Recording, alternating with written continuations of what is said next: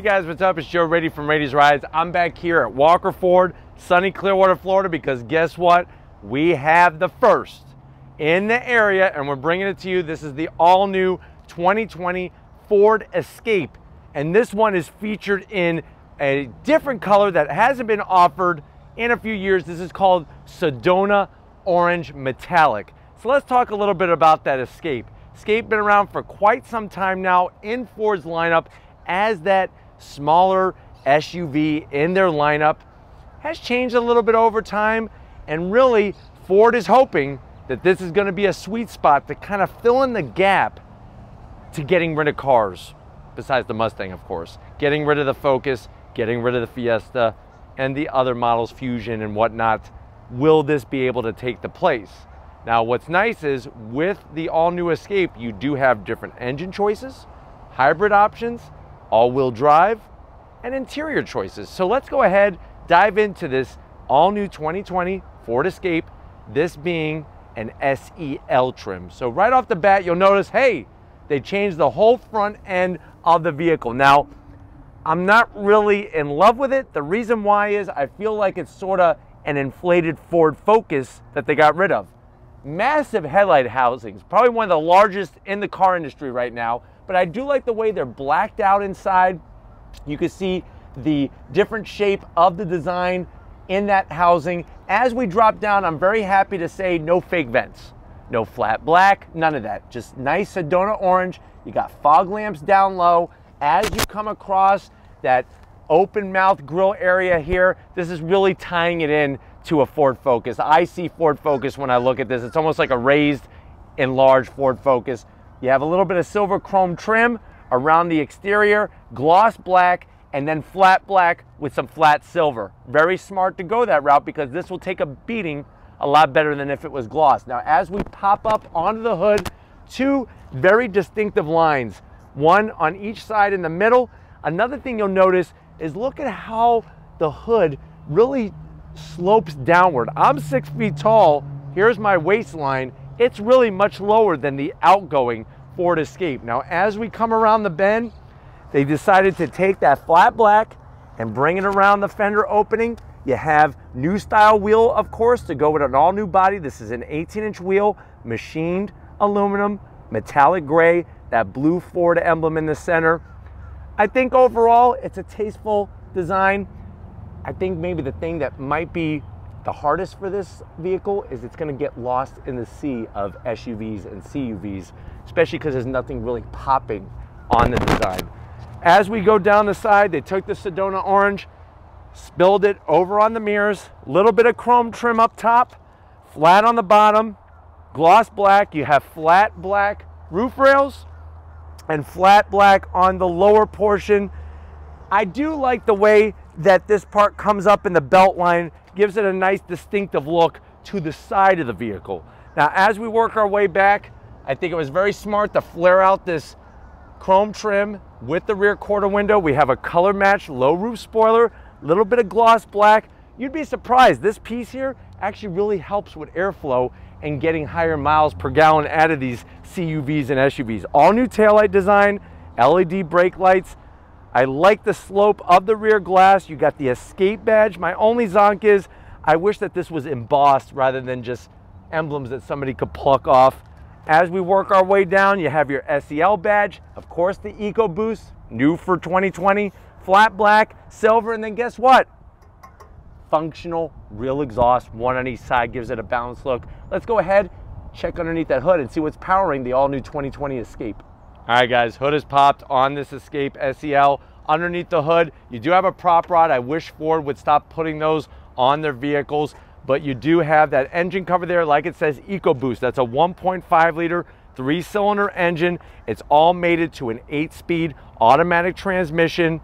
One of those things, this one is front wheel drive. You can get it all wheel drive. When we're talking about MPGs, we're looking at, believe it or not, 33 on the highway and in the city, you're looking at 27. So you're gonna get a great return on your MPGs out of this 1.5 liter engine. Under the hood, very clean. I'm glad that we could actually physically see the engine. That's always a plus from a car enthusiast standpoint. But why don't we go ahead, fire up this Escape and see what it sounds like.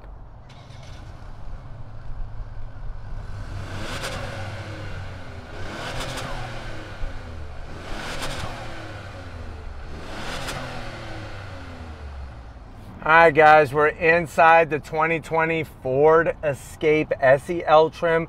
I know you're probably wondering, well, Joe, uh, I need something for the family. I don't want something too big. I don't want something too little. I'm digging the Escape. Seems about right.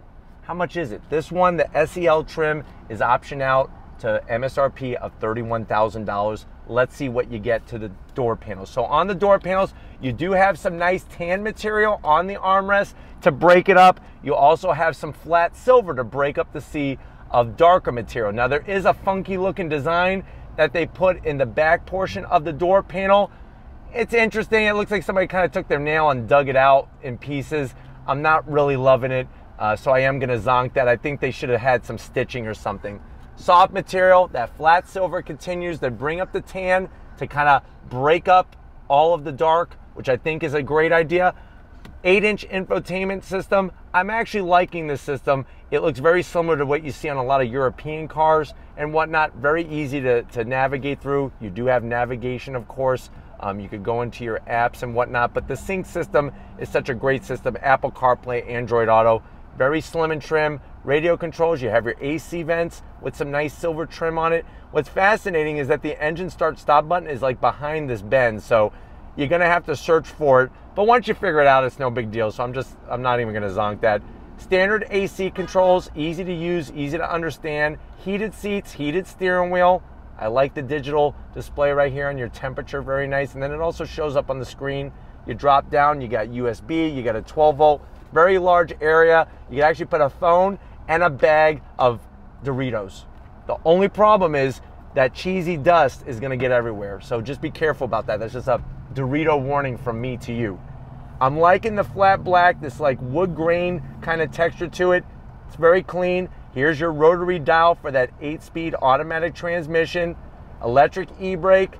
You have the ability to shut off that auto start stop feature. And then you have different drive modes to go through, which I'll show you that. Here's your key fob, your standard four key fob. It's a little bit on the larger side, but you know what? It gets the job done. There's the buttons on the back. Very nice. You got remote start. Soft material on the armrest. I like the stitching. See, this is what they should have put on the door panel. Would have looked a little bit higher class. You open this up, good amount of room and a USB in there. So, uh, you know, I'm, I'm kind of hungry for some chips and that's why I'm gonna probably say you could get like a nice medium size, those kettle cooked chips. Those, those are my favorite. I put that in there all day long. Nice leather interior. I like the perforated center. I like the material. And they're a two-tone color, which is really wonderful as well. Electric assist, especially on the driver's side, makes it very nice. And I got plenty of headroom in here. Easy peasy. Why don't you come on over to the business side of things? I'll show you behind the wheel of this new Escape. All right, guys. Business side, one thing I want to point out, look at this. You get three memory settings for the seat. Very nice to see that. Also, when it comes to the seat, for the driver, you do have electric assist. Really, really nice to get it to fit the contours of your body. Steering wheel, the leather is super soft. I wish they would have done that contrast stitching because let's think about this for a second. There's great contrast stitching on the armrest, nowhere else in this whole car. So that's kind of a little bizarre and I am gonna zonk it. I would like to see a little bit color differentiation. Gloss black, very simple to use controls. And then you have a simple layout, but it works. Analog tech, analog speedometer, coolant gauge, fuel gauge, and then you have that information display in the center that you could post all sorts of stuff. Now, you can get an optional 12 inch digital display. This one doesn't have it, but I promise you here at Walker Ford, they'll get the other trim levels and we'll bring them to you.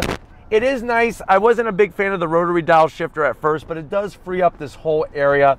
And you do also have your drive mode. You have normal, eco, sport, slippery when wet, and then deep snow and sand. So that's kind of nice to change the parameters of how the Escape is going to run for you. But let's go ahead, check out the back seat and see how your passenger is going to be loving this Escape. All right, guys, we're inside the 2020 Escape. Lots of room back here. This is where where they did a lot of homework to restructure the whole interior. Lots of headroom. And what's nice is I feel it's almost like movie theater style seating or stadium seating. I feel like I'm sitting higher, which obviously I am, the rear cushions are higher, which allows you to kind of get a better view out the windshield if you are a passenger. You can see the darker material behind the seats, very nice touch. I like the cutout area for your legs. You got a nice pocket in here on one side, not the other. Two AC vents, a 12 volt, which at least they have that. We've been in many vehicles here where you get nothing. And then armrests, you pull it down, it's nice and soft, two cup holders, it's a pretty good size. Seats, they, they actually slide, which is great. And get ready for this, one, two, three, they recline. So that's gonna help make this drive and ride in the Escape a little bit more comfortable for your passengers. But let's check out that cargo area and see what we can put back there. All right, guys, time to check out what can we fit in the back of the Escape. Just push here, look at that, electric assist, back up Tom, you're gonna get knocked out. Lots of room. I like the load floor is very low, even with the seats up, plenty of space, which is really great. You get a 12 volt back here. Let's see what's underneath here. You got your uh, spare tire, but very nicely done. You can actually raise the floor in here. If you notice, these little tabs sticking out on both sides, you actually can raise the floor just a little bit or keep it in the lower position. But I think that for packaging wise, they did a great job on this Escape. But if you're ready, I'm ready. Let's go ahead. I'm ready to escape. Let's take this for a spin. All right, guys, we're in the 2020 Ford Escape with the three-cylinder turbo. Remember, 180 horsepower, about 174 pound-feet of torque. One thing that definitely is an improvement inside the Escape over the old one is I like the arrangement of the interior. Much, much better with how they have the center console, the dash, looking out over the hood. On throttle, that 8-speed drops down, that three-cylinder turbo doing its job, getting you up and running. Now what's interesting is on the highway, you actually have a cylinder that shuts down. So you'll, to help with that, those MPGs to get that 33 on the highway, you actually have a cylinder that gets shut down, believe it or not, and you're running on two cylinders. And if you know anything about cylinders, you would know two cylinders. A lot of motorcycles are two cylinders, like Harley Davidson's. But anyways, with this Escape, the, the ride is smooth. The seats are very, very supportive. And overall, I'm enjoying the layout. Obviously, I think where the biggest zonk is going to come from is is from the front end of the vehicle. I think that's where they kind of missed the mark a little bit and was going a little too car-like to kind of fill in the gap of not having any more cars in their lineup besides the Mustang. Let's see, passing as we go here, drops down. So the transmission drops down very quickly. Shifts are smooth. Not too buzzy from the engine, so that's a nice feel overall. And to be honest with you, compared to the last Escape, it's definitely quieter in here. Uh, so I do feel better materials being used, especially sound deadening materials in this 2020 Escape compared to the previous generation. All right, guys, merging onto the highway, easy peasy, lemon squeezy, even with the three-cylinder turbo. It's got enough pep to it, and you're gonna get those maximum MPGs. Controls are easy to get to, and I like, for me, the driving position, have my up on top of the door sill here. Very easy to drive, very easy to find that sweet spot to where you feel good and you could go hundreds and hundreds of miles. The gauge layout, I wish this one had the digital display. It really just makes the vehicle feel much different in overall quality and level of fit and finish. But smooth is this the middle name of this Escape. The, the ride is very smooth. It's very, very um, compliant and it's not going to shake you or anything like that, which is very nice. It's a, it's just a nice, smooth overall driving CUV, SUV, whatever you want to call these things this day. But uh, gives you options. I just the front end, I wish they would have done something a little different. But let's see how the brakes are in this. Of course, we're not on a performance model, and they say that there could be an ST coming, so that is interesting. But on the brakes, decent feedback from the brake pedal. We tip it in, it actually does not have a lot of body roll, which is surprising for this vehicle. On throttle, not too bad. Like those shifts, I mean, very smooth. You don't see me herky jerky all over the place, and you're up and rolling. It's just when my eyes look down and I look at the dash, they kind of hurt. Just because it, it's not really the sexiest of looking gauge layouts. But remember, we're trying to keep this at a certain price point $31,000 SEL trim. Feedback, though, is great from the steering. I, I really feel like it's at a great amount of weight to it. I am in sport mode. You have those other modes you can put it into it as well. But just overall, the feedback feels nice from the steering. Uh, this isn't a race car by any means, but it's nice to feel in control and have good feedback. I think that's something that a lot of people forget. But going into this turn here, I'm even rolling on throttle in the turn. Feels good, nice and smooth. Like I said, when it's time to go and merge, you get on throttle, 180 horsepower. You can go optional, two liter with 250 horsepower. That would be the way to go, I think, power-wise. But uh, still, good package out of this Escape. Hopefully this gave you a good enough overview. We're gonna go ahead, wrap this one up, get back to Walker Ford, and of course we're gonna attack those other trim levels, engine options, and everything else. So I'll see you in a split second. All right, guys, it's been another wonderful day here at Walker Ford with this new 2020 Escape. Is it a contender for that flooded CUV SUV market? I think time will tell. Hopefully, Ford has some plans of bringing back some of their vehicles. I know, you know, everybody knows that I would like to see the Ford Focus ST make a return, the Fiesta ST.